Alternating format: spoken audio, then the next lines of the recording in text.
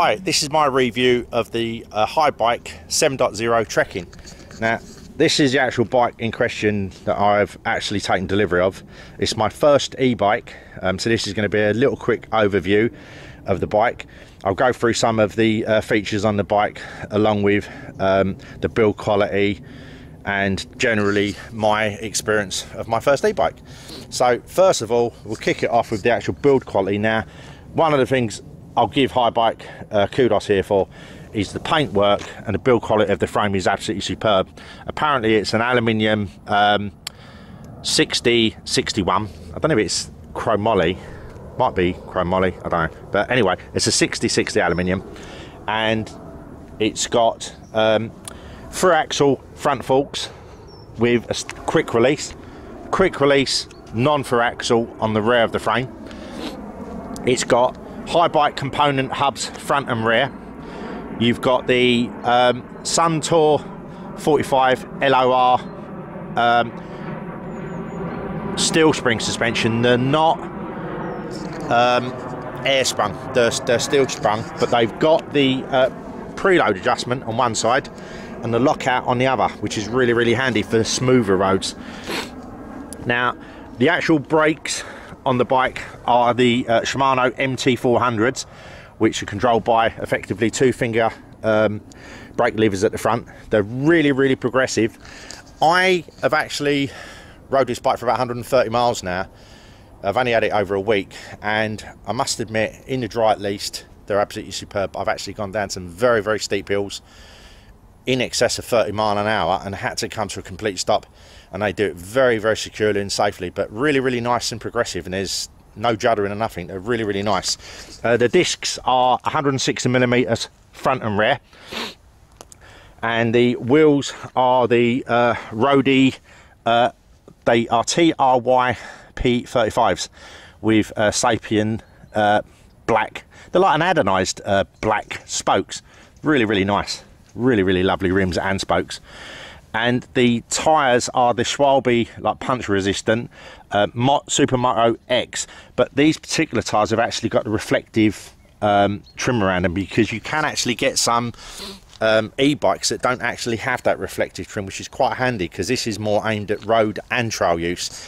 Hence the reason it's got fitted uh, full length fenders back and front which are in a lovely really really smart black um, they're like plastic um, don't know if they're plastic or aluminium, they feel like plastic.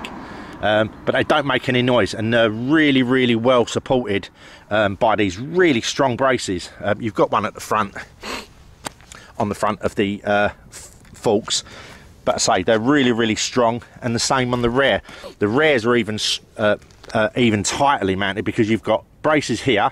You've also got a brace up here one uh, here and I don't know if you can see it between the back uh, wheel and this back block is another screw that's holding it here. So they're really really well um, held onto the um, bike along with the Carrymore rack which is rated for 25 kilos max apparently. Um, I will be getting some panniers for this in time which would be quite nice. Now if we go around I'll talk about the drivetrain in a minute. We'll just go through the front uh, unit, you've got SLX 11 speed rapid fires.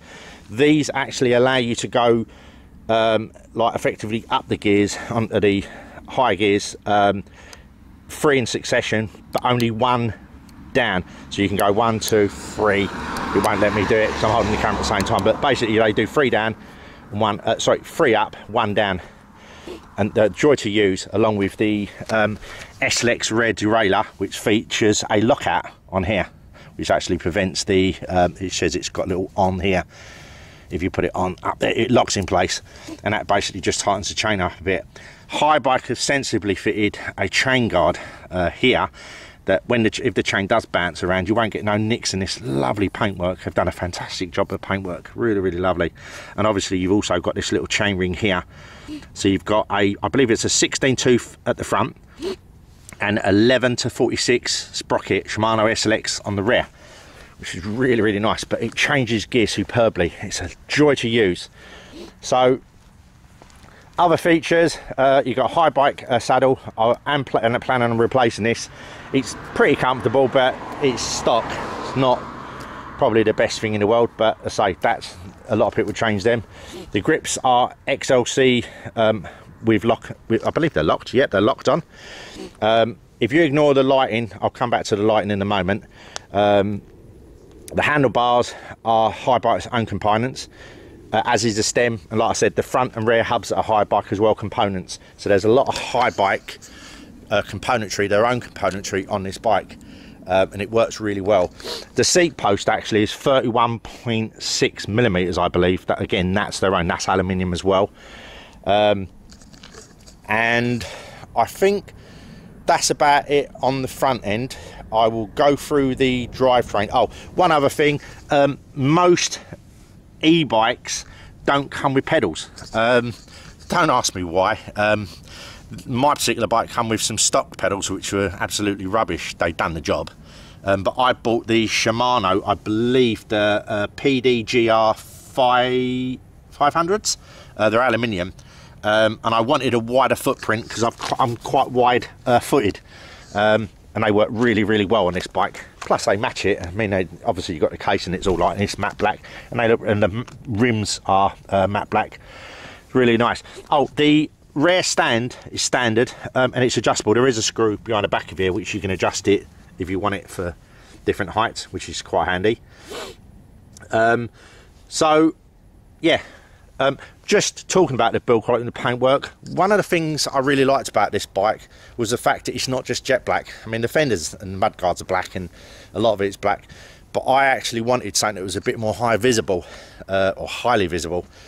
Uh, and obviously with the white and the turquoisey blue accents it just makes it a bit more standy out so I mean not everyone's paying attention as you probably know uh, if you are a cyclist uh, it's a case of see and be, be seen um, and yeah so one of the other great things about this bike you get standard fitment of lights. Um, so I'll come back to these lights in a moment. Now to activate these lights on the intuitive display, you literally power it up. And oh the lights are actually on because I've had them on already because what I do is when I'm riding out on the roads, um, this isn't just at night obviously, it's a case like I just said a moment ago, it's about being seen by other motorists. Uh, people not be, might not be paying attention if they see lights, they go, oh, what's that, as they're coming down the road. Um, so I leave them on, although I say these lights I activate after, but I'll get to that in a moment. So effectively, um, you get your little tiny light button here, and there's when you press it, you'll see the light indicator up here above the miles per hour sign. And effectively, the rear LED is provided by a company called AXA Blue Line, and this is a brilliant design because not only is it visible behind, it also pans out at the side. So you, this light that's come along this uh, like clear strip here eliminates this whole section here, so people can actually see it side on. Sadly, the front light isn't. It's obscured by the plastic. Now, this is adequate at best. Um, personally, if you're riding, like as you can probably see around here, I'm in the middle of nowhere. Um, a lot of my riding is out here, and you need all the light you can get because you want to be be seen for literally hundreds of yards up the road, and that doesn't cut it. Um, that's my personal opinion. Now, Haibike actually are using a company called Skybeamer. Um, I don't know if that's their own proprietary brand or it's someone they've brought in, but on the uh, higher range models they come available with the 350 the uh, sorry the 150 which is on this bike uh, the 7 and they also do it on the um, they also do a 300 I believe on the 9.0 and they also do a 5000 which is a bit extreme so it basically goes 150, 300, 5,000. Why didn't they bring out a 1500 or a 1,500? Anyway, uh, but the point I wanted to make is I've got no way of contacting Haibike to actually see if that unit is actually upgradable because it's only held in by these two screws here, I believe. Um, and then the whole unit will probably come away. I don't know if the intuitive unit has to be replaced as well, like the it has to work around it. I don't know. Um, this is just my camera mount for the mount, so ignore this for a moment. Um, but yeah, I say in the daytime and on its own, it's adequate at best. Um, it doesn't cut it, guys. It's a shame because the rest of the bike is absolutely stunning. Um, so if there is a way of upgrading this at some point, I will, only to clear up the cockpit area. And as a consequence, I've bought these uh, NiteRider uh, 850s. And basically they've got three power settings. So effectively, you just press them on. You go one, two, and then really high. And I predominantly leave these, excuse me, on the uh, single setting. So basically to power up and that way you've got a lot of visibility out on the road. And I only use the second power settings when I'm out here in the middle of nowhere when it's pitch black because I have ridden it uh, in the evening because it's quite enjoyable uh, going at, at night because it's a bit calm and there's virtually nothing on the road. And the good thing about riding um, at night, especially on these country lanes, they can see these lights for miles away, whereas in the daytime you wouldn't see a bike coming around the corner. So it's, um, yeah, take your life in your own hands a little bit. Now, going back to the drive unit now, um, one of the great things about the Haibike range is they, uh, this particular model actually uses the Bosch Performance Line CX. Now, I'll be honest with you, in terms of my riding, that I've actually ridden it so far, and this is my first e-bike, this is absolutely a superb drivetrain. Um, the whole point of me getting an e-bike is basically to build up my uh, knee muscles, um, especially my uh, right knee, because I've done it in a sports injury many years ago.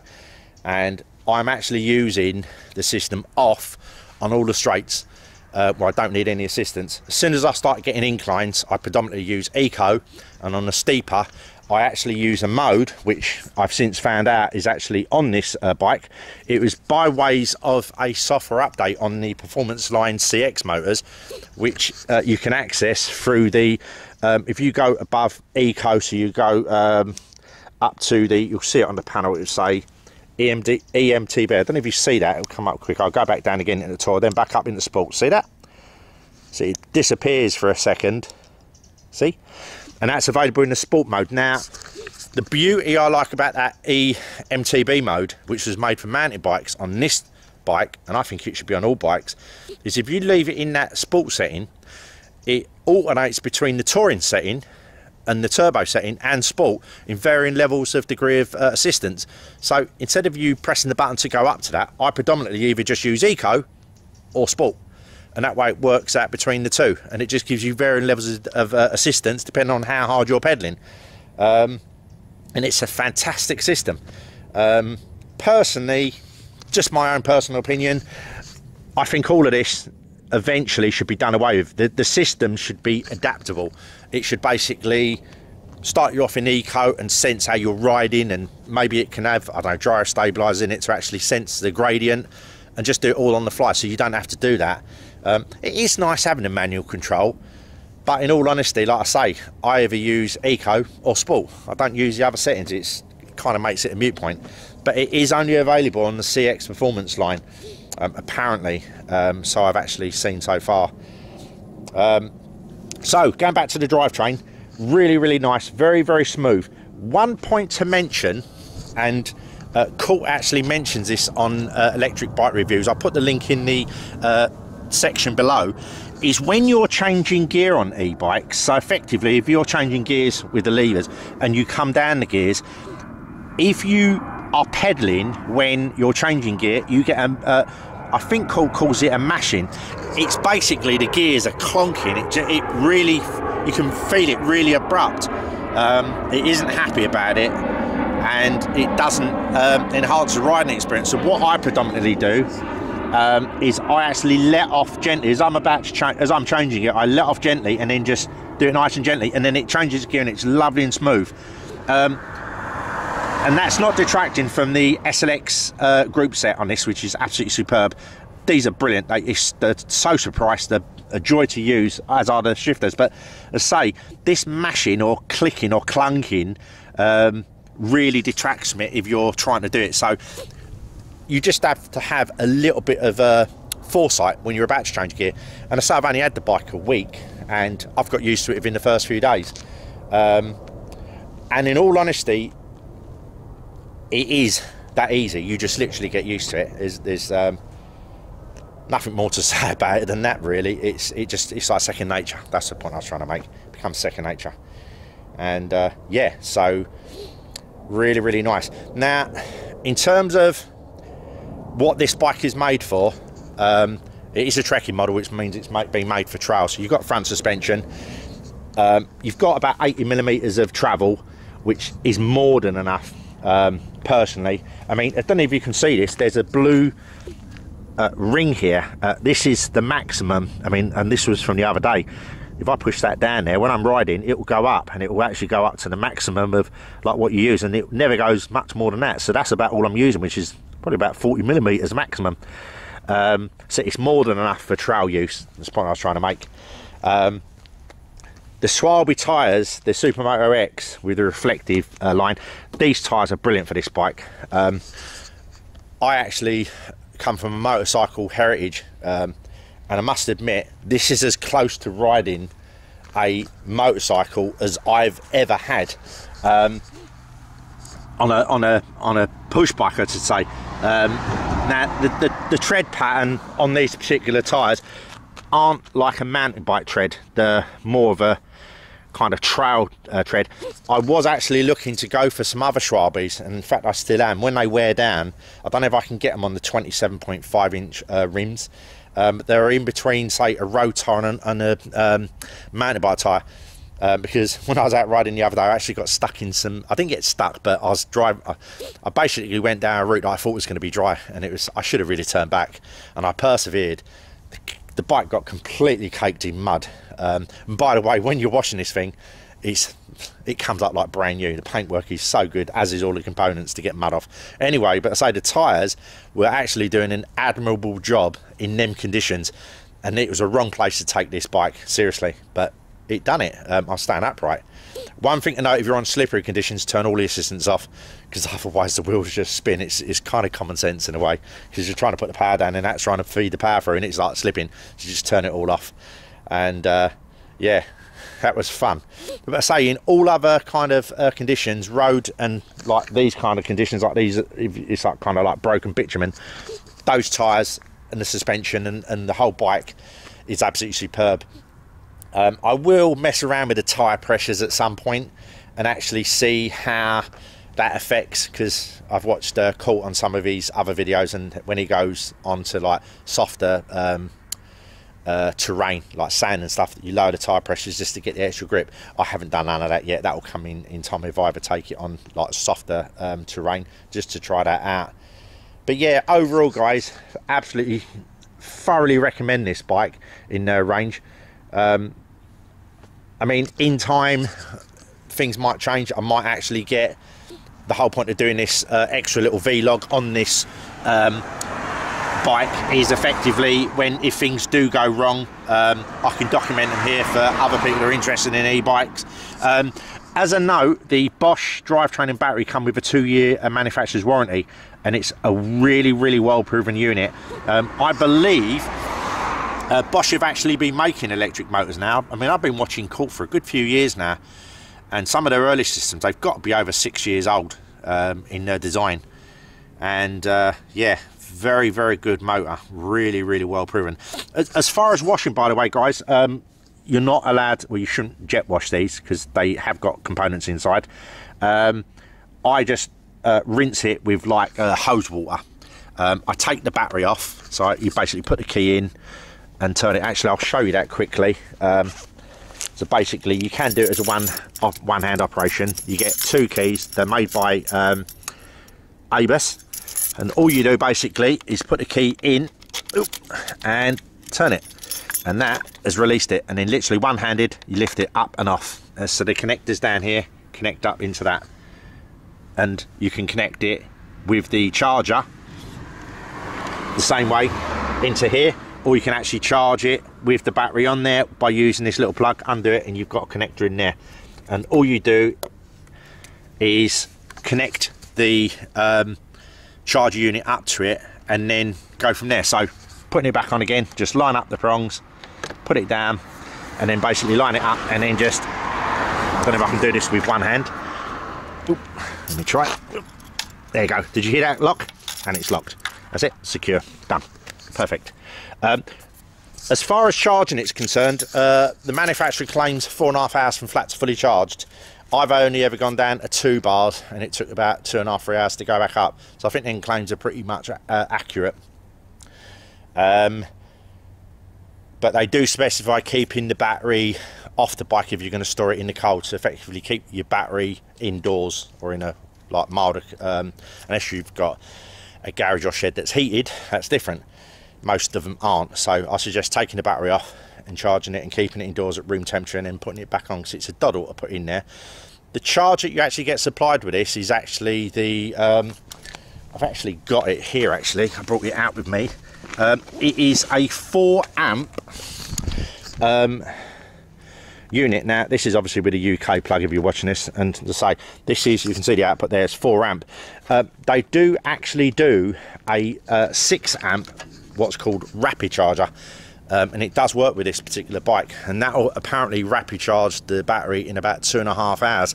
So if you are using this um, like uh, a commuter and you do need to actually um, just let me put this battery back. If you do need a, a faster charge like in a certain time frame um, I mean, most of us can work for so many hours, but I don't know, maybe your circumstances might be different and you need a fast charge. There is a rapid charge available for this, so that's worth bearing in mind.